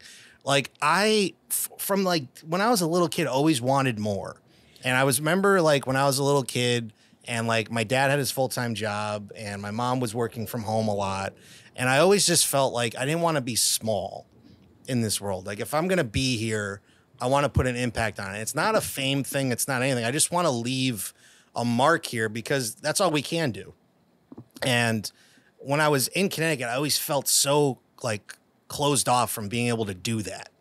And once I got here, and then the, like when I got sober, I was like, oh, none of that shit fucking matters. Just do whatever you want to make yourself happy. Like, you know, and that's what I started to do. And when I talk to these people and I approach these people, it's from a real genuine love of them. And that's the thing too. Like I love pizza. I love the art of making food for people. I love talking to people. I love meeting new people. And I love being a caring person because that's what my mother taught me to be. And I'll always be that kind of person. So like whenever I've approached these people, I think that's a big caveat to like don't be begging or whatever. I always approach it with so much love from an adulation, no matter what you are. And I think the thing I learned last year at the expo was we're all the same in some way, shape, or form. What they say, cut from the same cloth, mm-hmm. but maybe just at different levels in their business or different levels of their success. Mm-hmm. And in pizza, especially, the real good people don't like they don't hold that over the other person. Yeah. I learned so much last year about product, business, um, scaling, and then also just how to like to to meet people and Yeah. to network. And then now a year later, I'm there, and they're all coming up to me to say hi and like, "Oh, it's so good to see you," and all that, and like people asking me like what they should do, and I'm like, I don't fucking. It's like what I don't. And then, but you have to be able to be available because I was asking you those same questions, and I still ask you questions all the time. And people that want to learn this game, you got to learn from the people that were here before you. Yeah. And, and that's the only way you could do it. And the other thing I'll say for me is that when I was in comedy, hustling in that, trying to get on stages and get more time, and you know, I learned how not to be with people. I've met some shitty fucking people in that industry that treat people like garbage and treat you like garbage if you even if you book them on a show. And I was really getting an education on how not to be in this world. And I was like, I that's where I really was like, I'm never gonna be like that. Yeah. And the only way for me to do that was to get sober and realize who I was as a person. And then now it's just all gravy. Like all this stuff's just gravy. It's it's insane, but it, it leads to the fuel that builds this up. Like, was there a vision board? No. Like I hate to say it. Like I just every day I'm grateful I wake up. And If I wake up, I go, okay, what are we doing today? For me, I live in the present. So like I know XYZ is gonna happen this month, next month, whatever, next year, but I don't think about that. I think about today and how to get through today. And like my day today was I get to see Alex, I get to see Matt, I get to see Ozzy, I get to hang out. And then tonight I'm going to a Between the Bury Me concert, Santa Ana. And then tomorrow I go to an AA meeting at 7 a.m. and that's my life. And it's like, it's great to like kind of microcosm that a little bit. You ain't future tripping. No, no, that I love that term. I like, just heard it for the first time today, actually. really? Yeah. It's yours now. that is now mine. That is now Alex Koons quoted, never said before. uh, future, tripping. Uh, Is that what that means, by the way? what? Future tripping? Like to not trip over the future. There you go. Yeah. Done. Just by the way, Michael Hiller said that. So Hiller, love him. yeah. Um, all right. So I want to get into the Portnoy thing because Portnoy is a polarizing character. Yep. You know, people you either love him or you hate him. And we can unpack that while also unpacking because he is the biggest influencer, a, a person that whether he gives you a six eight or an eight one can change your business forever. Uh, even a bad score is a good score from this dude. Yeah, it's publicity. Um, so, you know, first off, because I know a lot of people want to know, is there a secret of getting this man in here? I remember in his review, I think he says like this guy's been hitting me up for years. yeah, I remember that. That was funny. Well, like I said, I'm crazy and I have no fear of rejection. Yes. uh, when I was doing the pop up at my house, he reviewed um, a place in Philly called Good Pizza. And it was a dude just doing pizza out of his apartment building in Philly. Yeah. And I saw that. I go, oh, he might go to pop ups. So I just messaged him, hey, I do a New Haven style pop up in California. Come by. My grandiose thinking like he's going to show up at my apartment one day to do a video. I didn't. I had no clue what was going to happen. No response. That's it. I left it alone for the longest time because what are you going to do? Bug him to show up across the country? Yeah. then what happened was when we got the eater article people started sending him the eater article like just customers of ours. And we would get tagged in those like those mentions and all that stuff. So that's when i like one time i got mentioned with him and i was like hey dude if you ever want to come by we're in underdogs come by. And he literally said i will one day. Like i I- and i was like cool. Oh my god he responded great. And he is the biggest pizza influencer out there. Like let's just call a spade a spade. Like the dude's been doing this for what almost a decade now? And he goes to shops and those videos get a minimum of like 200,000 views within like 2 days just on YouTube and then they're also on Twitter, Facebook, Instagram. So you get exposure if you if he comes to your shop, good or bad, right? Yeah. So for him, he was saying that I think that's just his way of like being the machismo guy. Like he's got to be the the the main man of the video, which I get it. He's playing a pseudo character in in itself when he's on camera. Yes. But when he came in, he said, I was like, yeah, whatever. They're like, sure. I hit him up three times. I, I literally three times over the course of four years. So if that's a lot, sure, whatever. Well, check it out. I remember because the whole thing was fucking surreal and has been again, Still like is. I said, to even like to even see it as an outsider, you know, and Yeah. see what you've gone through. But I mean, you so you hit him up three times. Probably other people were were trying to get him in here for you, and I remember you hit up me and a couple other pizza makers, and you're like, "Yo, Portnoy's going to be in town. Yeah. If you guys should reach out." Yeah. and uh and then it was fucking crazy because then like the next text I get from you is like or it wasn't even a text. I think I might have saw like I think I, know what sent you did- the photo. yeah you, or you, might- something. you said it. I think something came back to that same chat and he was at your place and I Yeah. was like, what the actual fuck? I don't know. Like you know, people want people. And you know, I've already talked about this, but he is a golden ticket to some people. Sure. And people, w- w- they want that exposure. They want that. They want that golden ticket. You know. Oh, And yeah. Is there, is there any cheat codes for getting him in here? Uh, buy GameShark on eBay for ten dollars. plug it in at home and wait for the right code, and then maybe just play it on your uh, Sega Genesis every day. I don't think there's a cheat code. Listen, I know I make New Haven style pizza. Yeah. I know he prefers that. Yes. So I always knew from day one, I'm not stupid. If he ever was to come out here, he might come to us because we make New Haven style pizza in Los Angeles, and we're the only one that advertises that. So I'm not stupid to think that he would never come. So like I always knew in the back of my head he might show up one day. Great. But also from that I realized that we'll always be polarizing ourselves because we make New Haven style pizza with a gas brick oven. So we were already prepared for heat from that when people would be like, you don't use coal, this and that, and whatever. So like I have a very tough skin. Like I know what I make. I'm very proud of what I make. So I always was prepared for any of those conversations to happen. Yeah. And for him to bring it up in the review, I'm glad he did because I was ready to just to counter back with like, yeah, dude, the party says gas. Like everyone, there's so many different places in New Haven now that don't use coal. So like, don't hold that as like the the bastion of what New Haven pizza is. Yeah. But cheat code wise, there's the only cheat code is to work your fucking ass off and build your brand up and not try to get him to come to your shop. Like I've seen some shops like make videos like please come, please come or you know, guys uh, tag him, he's going to show up. Do you think that motherfucker reads those things? Do you think he's going to even like look at your post to like cuz someone like put the time in to make a post? The dude is what a multimillionaire, runs that company, he's all over the place. Like just uh, make it as organic as possible. Yeah. Like let your followers, let your customers reach out. Like let them let him see that it's really like the pizza's good.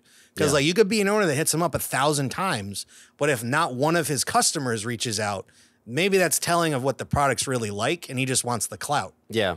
And I think that's the hardest part is I had I was really getting fed up at the expo at a certain point, and it was people were always like, "How'd you get him to come? How'd you get him to come? How'd you get him to come?" And it's like I didn't do a fucking thing except work my ass off nonstop with my team for a few years at that point. And then we got let's be blunt, we got lucky. He came to Pasadena because so many. Here's the thing too. We were just talking about the universe. So many things had to happen for that review to have happened. One, we had to have been open. For we almost were going to be closed. I decided I'm going to come back and open that day. Two, Michigan had to make the Rose Bowl for him to even come out to Los Angeles because he's a Michigan fan. Yeah. So I have no control over uh, college football and what's going to happen, right? All I know is if he shows up here, I'm going to make good pizza and give it to him. But all those things to get him here, I have no control over. Yeah. I can message him a thousand times. Customers can message him a thousand times. But if Michigan doesn't make the Rose Bowl, he's not coming to California, let alone Pasadena, which is 10 minutes from Glendale. Yeah. So all those factors, like I hate to say it, there really is no cheat code, but the the best thing to go with it, that's great. There shouldn't be a cheat code in life. There is no like easy way to get anything. But then I think one thing to be prepared for is like just be prepared to some people want like Portnoy to come to their shop, but like I really feel and I've seen this with some shop owners is like I don't know if you really want him to come and review your pizza. Cause like I've seen some of these videos of people all over the country that have, have gotten him there, and he's like, "Why the fuck did you tell me to come here?" And I see the pizza, and I'm like, "Yeah, I mean, if you're making conveyor belt Domino's under a different name, do you really want someone to like that has eaten the best pizza in the world to review it?" Yeah. And that's a, I mean, that's a struggle, man. There's no cheat code. And the same with comedy, there's no cheat code. You can't just do a set one day and then the next day you're on fucking Jimmy Fallon doing 10 minutes for the for the world. You Yeah. have to put in hard, hard work. And But we're talking about basically the cheat code for the cheat code because Yeah. Portnoy is a cheat code. Oh, 100%. Someone said on this podcast he's a golden ticket. 100%. Because my business has grown 400% since the video dropped and it's steady. And I am grateful for that. But you also have to deliver on what that video promises, which for us is thin, crispy, well done pizza, which they featured in that video perfectly. And I'm so grateful that the the video shots of it looked great or whatever. But the feedback we got on the video, and uh, here's another thing: if you do get the video, don't read the comments. Don't read the comments on anything ever. Yeah, because I you're gonna stay out of you're gonna lose your mind. yeah. And like gratefully, ours were pretty positive, and a lot of them were about me and like my demeanor and like how like just I was n- nice and genuine or whatever. But the negative ones were always like pizza's burnt, this or that, whatever. Okay, sure, it's burnt. Go fucking eat something else. Like I've been saying that to people that aren't Dave Portnoy for years. Like it doesn't matter. But like the cheat code to the cheat code is like if that happens, get ready as soon as he leaves your shop. Like just get ready to, for the busiest weeks, months, years of your life. I will say this, Freddie the Pizza Man out of Detroit, he got a great review years ago and he got like an 8-7 or something. He reached out to me before the video, like right after the video dropped. I don't know this guy. Like I just admire him and what he does. I admire all these people all over the country. He reached out to me and goes, "Brother, I'm so happy for you. Just get ready. It's not going to stop for years to come. People still visit me 3 years later because of that. And you were great in the video and the pizza looks great and just keep being yourself."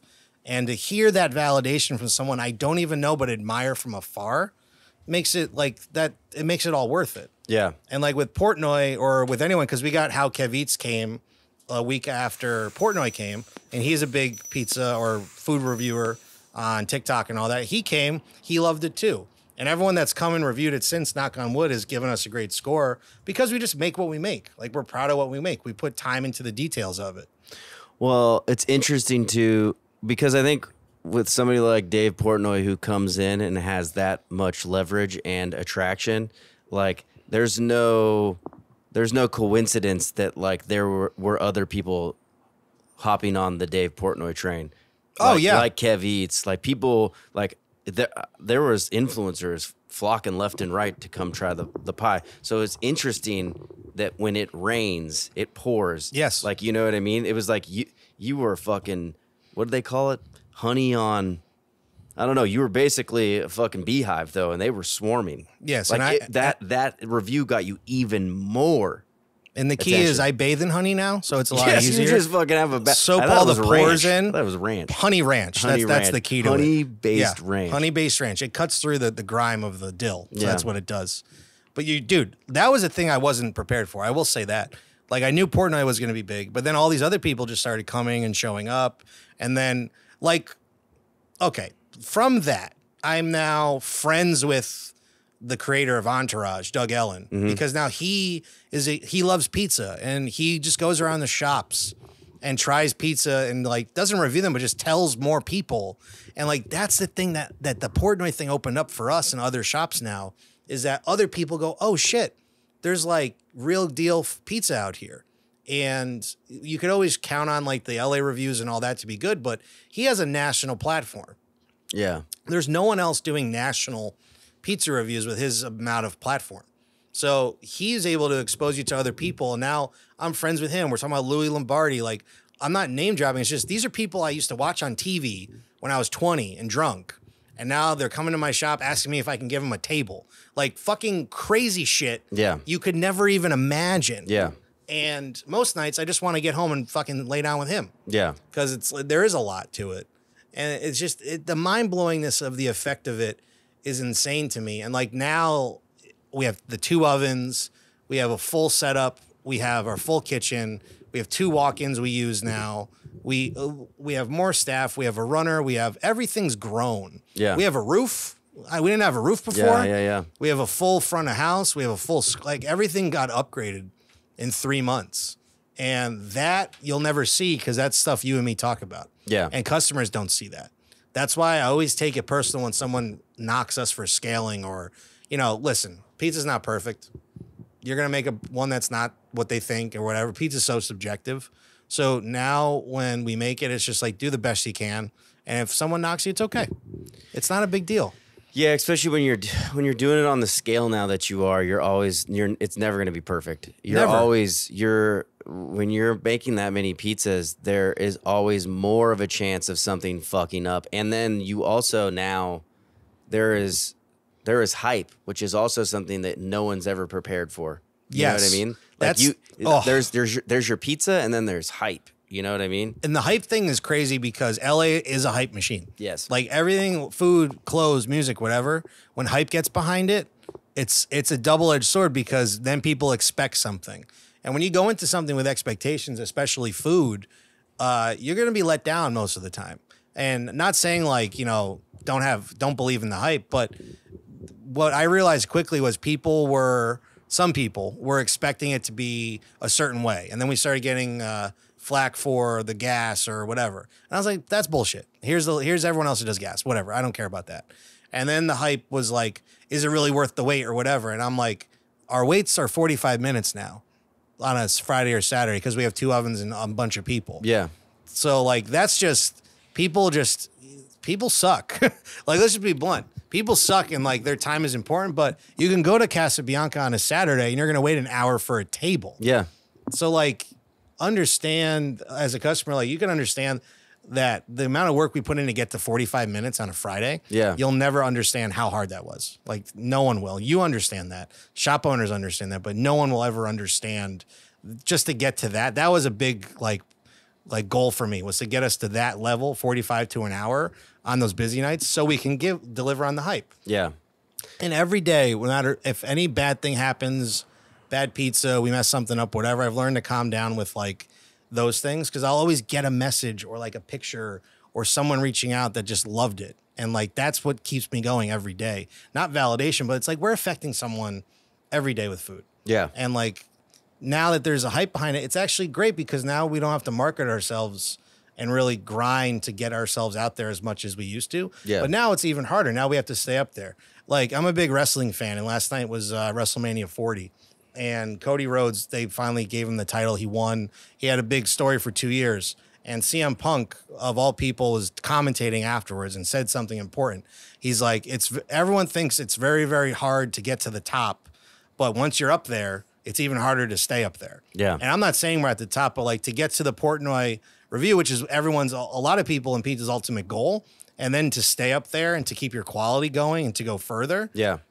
That's the hardest part. Yeah. And that's the stuff that no one sees. That's the stuff when I text you or I'm like, Alex, I need to come by. Are you at the shop? Can I please just hold you? Please just please just stroke me for the love of God. Just just just hit my bald spot. Please just like I've I've had a couple mental breakdowns where it was just like I needed to breathe and figure some shit out. Yeah. Well, I mean, it's a lot of work to do what you did. I mean, to get an oven in here 48 hours later, or 72 hours later, or whatever, and it's crazy. triple your staff, and you know, a lot of not a lot of people could do that.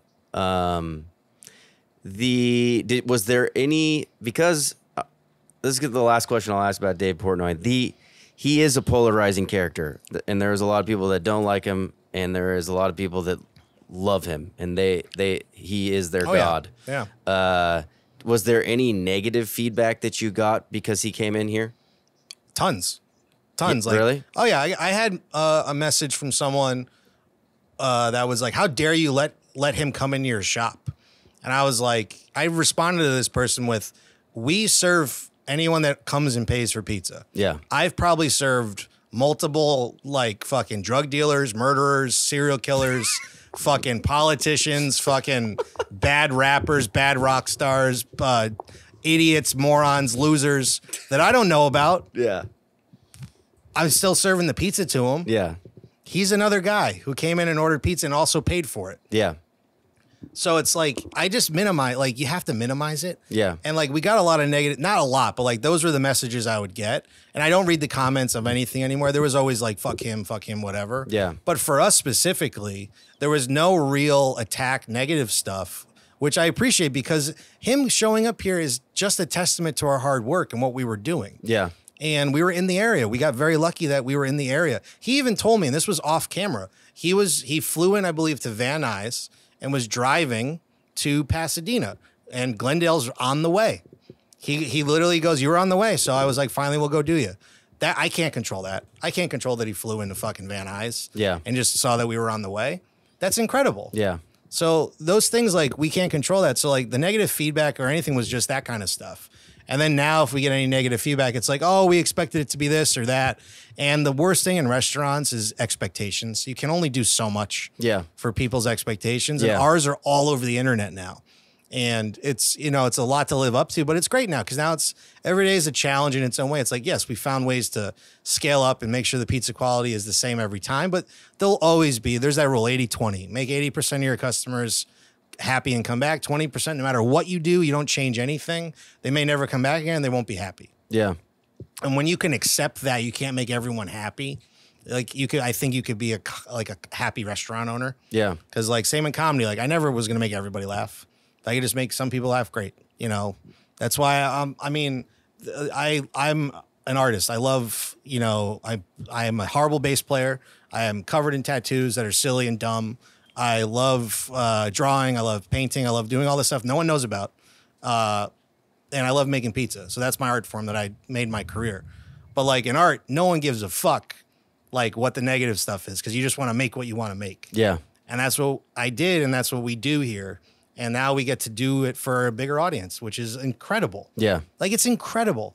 And like, well, I'm sh- like, like we were talking, and I'll just uh, like I signed a lease for a, a Connecticut That's what I was, pizzeria. that's what I was gonna get into next. I'm sorry I jumped it, but No, like I'm still like I went home for a trip and I've always said to myself I'll never open a pizzeria. And then because I'm a stubborn son of a bitch who's has a chip on his shoulder, I go, I'm gonna open a pizzeria in Connecticut now. And there is a great opportunity in the East Rock market, which is right in New Haven. And a spot was there already built. And they're like, Do you want to come in in July? And I thought about it for two days, talked to my business partner, and we signed the lease two days ago and we're opening up Ozzy's East in, in Connecticut in July. And the response from that has been, I was like, why didn't I wait? Why did I wait this long? Because now it's like having that and having being able to now visit my nephew who's going to be three. I'm having a niece in July. See my family, see my father as he's growing older.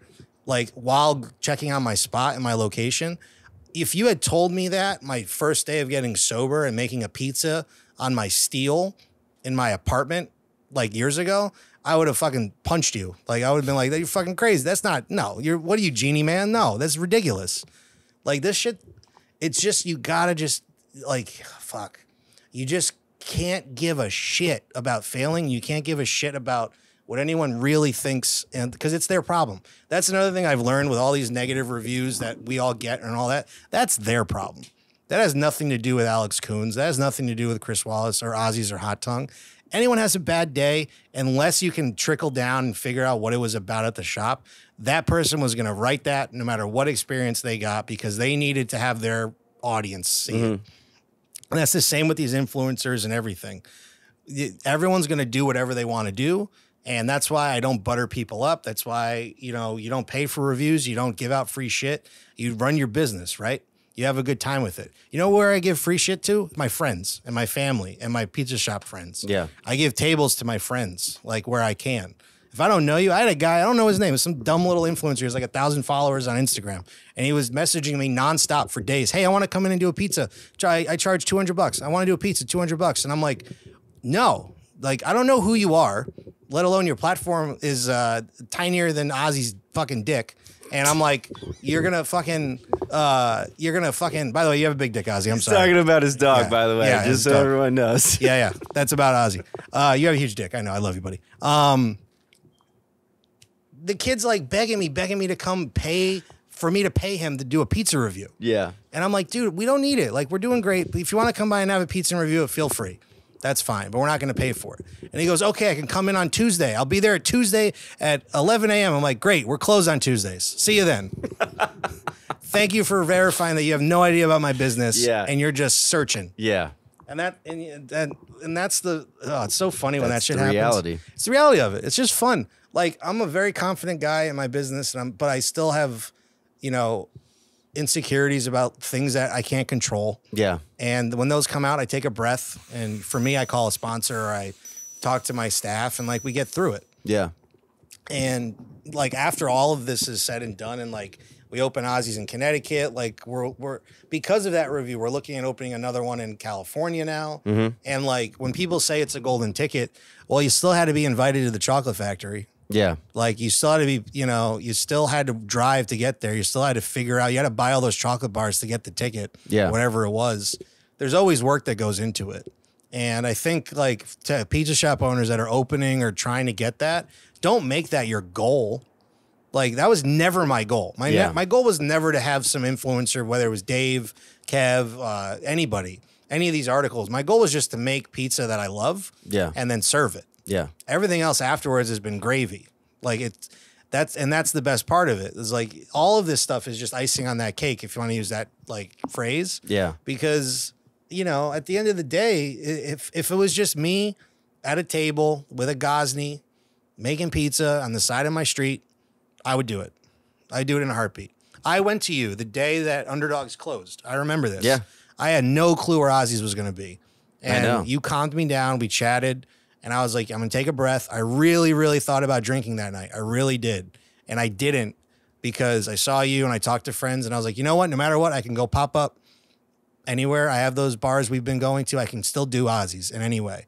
And we'll figure it out. And Yeah. the next day, this happened. It was figured out. I know that's a great. I mean, that's what I'm saying. You're you're you're you were on a rocket ship. Yeah. And you know, it. I think on the outside, it's it, it could look like, oh man, look at all this luck. But I think hopefully everyone listening to this is, and I like what you said about you know you had you have to buy all the chocolate bars. You had to. You, you, it was work to make that happen, and then you know, Charlie gets the chocolate factory. You know, he inherits that chocolate factory. We don't know what happens. But I mean, you know what I mean? Like, but that's a lot of work. First And of all, it- where's that sequel? I want to know what happened to Charlie. uh, the Great Glass Elevator, I never read, No. but uh, you know, like what you've done. I love calling Hot Tongue the Chocolate Factory, so I'm going to call Ozzy's the Chocolate Factory. What you have done, and and and how you're growing and how you continue to grow. Uh, I mean, it speaks volumes that like there is no golden ticket. There's only, really, there's only hard work and being prepared to work even harder when these opportunities come. Yeah, and not being afraid to take those opportunities. I never wanted to open a pizzeria in Connecticut. Never. I always said we would never have a space there. It's oversaturated and everything. And within three months, that my mindset changed because when I was home, and I it all came about because I was home visiting my nephew, and I really loved being there, being the godfather, and you know playing with this kid and seeing my family. And my family looks at me in a different light now because I always thought I was the black sheep of the family, and I was the scapegoat, and I was the failure. And that's just how I thought. You know, that was my alcoholic thinking, right? And now I go home and like to see my family that's that's there and that the genuine love we have for each other and the support we have. I do miss that. But I love living in California. I love it out here. This is where I always wanted to be since I was probably 10 years old. And so to be able to open up one over there and and be able to travel now with everything that's going to happen is just is the most beautiful gift of all of this. And the only reason I have one is because my good friend now, Colin Caplan, who runs Taste of New Haven, uh, it's a popular uh, travel company in New Haven. He wrote and uh, produced the Pizza Love Story documentary about um, New Haven Pizza. I saw him in Pizza Show seven years ago, and he was being interviewed by Frank Pinello. And then one day he messaged me, "Hey, your pizza looks good." I was like, "Thanks." I had no idea it was him. And he goes, "Hi, I'm Colin." I'm like, "Are you the guy from the thing?" He goes, oh, I, "I watch all your stuff." And now we're friends, and we're out to we're at dinner. We're at Zuppardi's in uh, West Haven. We're having dinner. I'm like, "Let's go." I'm I'm awake. Let's go have a drink. Let's go hang out. I'm sitting there with my bitters and soda, and he's drinking his like Heineken or whatever. And I was just like, I wonder if I should open one in New Haven. And Colin goes, I have three places available right now that I can show you tomorrow. And I was like, fuck it, let's go look at something. And I was flying back here the next day at 12. Mm-hmm. So I literally drove to the place that we just leased. Drove to the place with Milton. Milton was there on his own. That's also funny. Milton's on a pizza pilgrimage right now, and Yeah. He may never come back. He's just he's taking over the the the East Coast right now. And Milton met me over there, and our faces are just dropped at this opportunity. Yeah. And it's going to be a lot of work. Like it's a, a market that's still up and coming. They're still building around it, and the brewery is right next door. But there's still going to be a lot of work because now we're in the belly of the beast. And the best part is Pepe's reached out and said congratulations. Sally's reached out and said congratulations. Uh, the shops down the street reached out. Zuppardi's reached out and they said welcome to the neighborhood. If I I if I did this years ago and said that, I would have thought they would have been like, "What the fuck are you doing? Get the fuck out of here." There's always a space to go if you're just genuine about what you do. And these people, my my luminaries that I love, like are like, can't wait for you to be out here. Do you can you quickly tell us like how you plan on staffing and and working that operation, or are you still figuring that out? Uh, we have like a basic plan, but essentially, my business partner Craig is more than likely going to be moving home to run it, Yeah. and he has a huge support system with his family and friends out there, as do I. Uh, we also have um, possibly one of our employees is moving out there as well. I won't say who or yet because it's not concrete. Yeah. but two people that started here are more than likely going to be running that one. Um, ironically, on the plane ride back, I'm on JetBlue and I fly JetBlue all the time. You know, when the, they walk by the aisle, hey, you should apply for the JetBlue frequent flyer card at this rate, blah, blah, blah. And I always go, no, I'm watching a shitty movie. This time they're like 70,000 free travel miles if you sign up today and get approved. I'm like, I'll take that. And I literally on my phone, I applied and I actually got it. And I was like, so now I have like eight free trips to fly back home. So then I signed the lease the next day, knowing I can fly back a lot. So my goal is to travel like every couple months to check on it. I'll be there for grand opening. Yeah. But what's great is I have that support system. I have some feelers out for front of house manager, and it's a smaller setup. It's essentially a food stall inside of a market, so like sort of a food court setup. Yeah. So smaller volume, and I, I already told the, the my partner about what we would do. Just focus on that. You know, focus on the volume you can do at first, and we'll see how it grows. Yeah. And that's what we did here. Like, yeah, we'll have a big push probably when we open, but that's their plan right now. And plans change, you know that. Like, Yeah. who knows? But at the end of the day, it, it- we had we couldn't say no. The deal's too good. The rent deal was too good, and we want to help. The landlord wants to help us. My sign's already being made there. Like it's, it, we're so excited to do it. Yeah. That it's again, I, I'm not afraid to fail. And if it does, I have no. We'll see. You know. Yeah. But that's the plan right now. I'm gonna. This is home base.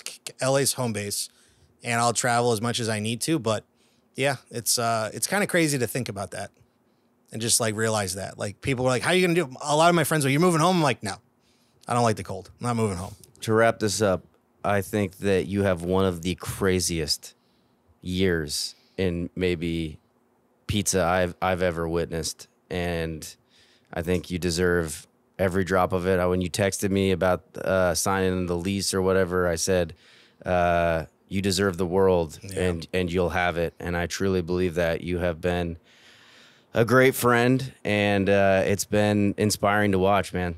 Well, I love you. You know I do, and I appreciate everything you've done for LA Pizza and continue to do. And I will keep telling customers to go to Hot Tongue and get your food all the time. I appreciate that. because you are the dough scientist of Los Angeles. Barely graduated high school, but I can write. I can write a dough formula for sure. Hey, man. At the end of the day, uh, what do we say?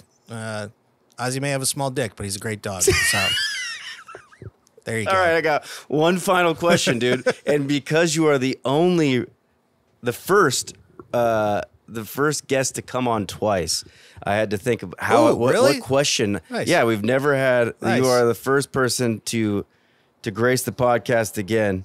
Uh, Thank you for that. That's yeah, awesome. well, uh, th- thanks for making the time. The who knows? Maybe the fucking next time we talk to you will be in Connecticut. Done deal. You'll be in Milton's uh, mansion. Yeah. Uh, who is the best live performer of all time? That I've seen or that- just I assume? Well, I, w- I didn't know if I should say. I think it should be that you've seen. What's like the best live show you've ever seen? That's a that's a very good question. I would say the best concert I've ever been to in my life give me three seconds because I've been to a lot. Yeah, yeah, yeah. Hey, I mean, take your time. I mean, I'll just say real quickly, I saw Jimmy Eat World and Fall Out Boy like a month ago, and they were incredible. Like they like Jimmy Eat World was tight. Fall Out Boy sucked when I saw them 20 years ago. They Yeah. fucking sucked live. and they were so tight this time. I was just like, wow. Like good for them. They But, probably like, all stopped drinking. Yeah, I, I will say probably my favorite performance I've ever seen in my life that was like just tight and beautiful was it's it's a toss up between Rush, Van Halen with David Lee Roth and Metallica. I got to see all three of them at different moments, but I th- uh, yeah, I'd, I Metallica blew me away. I mean, they were my favorite band growing up. I still love them. Yeah. And I got tickets to the San Diego show. That happened like six, seven years ago. Yeah. And we were on the floor, and I was right by the stage, and to watch like every song that I've ever seen, and they were so tight and so good. And there's a billion other bands I've seen. Like I'm seeing Between the Buried and Me tonight, and they're uh, one of my favorite metal bands of all time. I saw them in a 50 seat room once in Connecticut for like 10 bucks, and like they tore the place down. Like I love music, and now that I play bass, it's fun. I have that little connection to it. Yeah. I am not good at all, but it's fun to be able to like see how hard it is to do that stuff. Yeah. But yeah, my, that Metallica show in San Diego was incredible. My favorite show of all time, still to this day though, I'll just say this was my first concert I ever got to go to, which was a radio festival show in Connecticut. And I'll, if anyone gets the reference from my Connecticut people, they'll know Radio 104 Fest, and it was headlined by Blink 182.